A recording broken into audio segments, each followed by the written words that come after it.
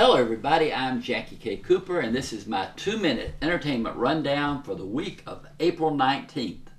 Disney has one of their nature studies released in theaters. This one is called Monkey Kingdom. It's all about a group of monkeys living in Sri Lanka.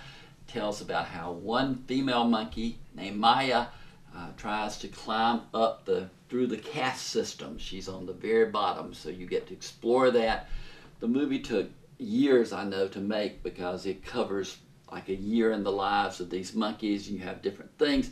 It's rated G. The whole family can go see it. I was bored. I'll give them credit for the photography. I scored it 4 out of 10.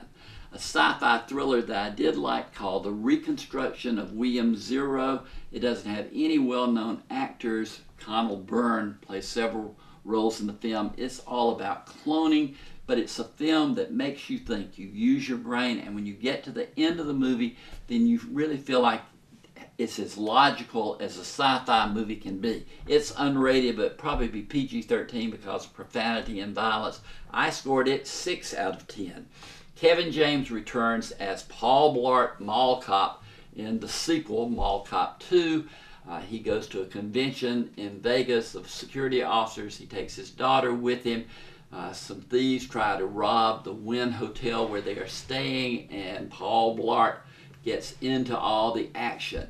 It's like seeing a repeat of the first movie, but with fewer jokes. I liked the first one. This one, I was disappointed.